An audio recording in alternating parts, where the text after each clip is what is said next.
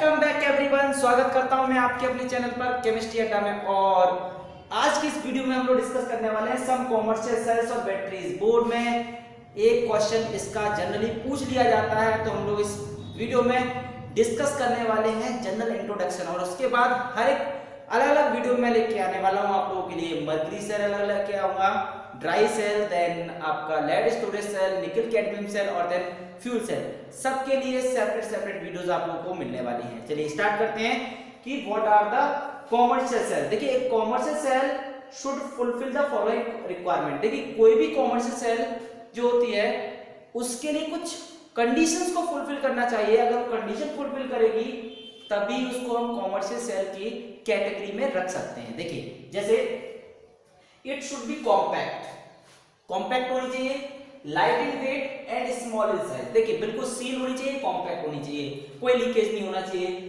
Weightless होनी चाहिए मतलब बहुत हल्की होनी चाहिए लाइट वेट होनी चाहिए और स्मॉल इन साइज़ छोटी से छोटी होनी चाहिए, जितना पॉसिबल होता है।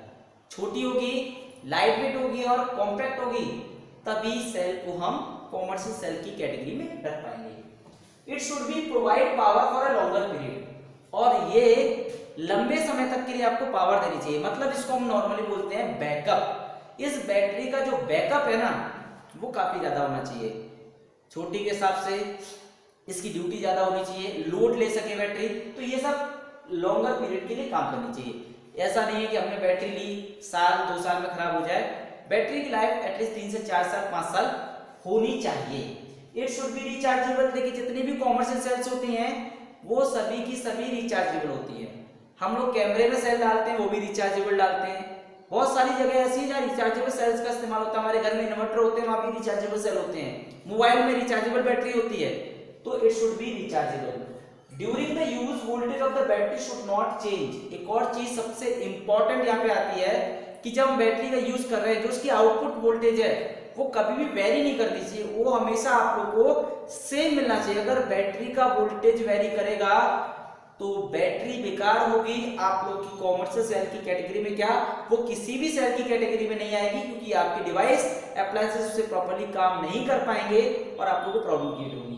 तो ये थी कुछ कंडीशन जिसको हम कॉमर्शियल सेल या बैटरी के इंटरनल रखते हैं, जिससे हमारी कॉमर्शियल सेल या बैटरी की कंडीशन फुलफिल होती है। अगर ये सारी कंडीशन कोई फुलफिल करती है बैटरी तो हम कह सकते हैं that was the commercial battery the the commercial cell are of three types देखिए कॉमर्शियल सेल जो होती है, वो थ्री टाइप्स की होती हैं। सबसे पहले प्राइमरी सेल जिसको प्राइमरी बैटरी बोलते हैं। सेकेंडरी सेल जिसको हम सेकेंडरी बैटरी भी बोल सकते हैं। और तीसरी होती है फ्यूल सेल देखिए प्राइमरी सेल क्या होती है? बेसिकली मैं आपको बता दूँ कि प्राइमरी सेल ऐसी सेल्स होती हैं जो नॉन रिचार्जेबल होती है। इसको हम नॉन रिचार्जेबल बोलते हैं। क्या बोलते हैं? नॉन रिचार्जेबल ठीक है? नॉन रिचार्जेबल मतलब इसको हम दोबारा से चार्ज नहीं कर सकते। We can say use and throw batteries are known as rechargeable तो अगली वीडियो में आप लोगों को मिलने वाली है। दो बैटरी मिलेंगी। एक मिलेगी लेड स्टोरेज सेल और एक एक सॉरी एक मिलेगी इसके अंदर आप लोगों को ड्राई सेल एक मिलेगी मर्करी सेल ठीक है?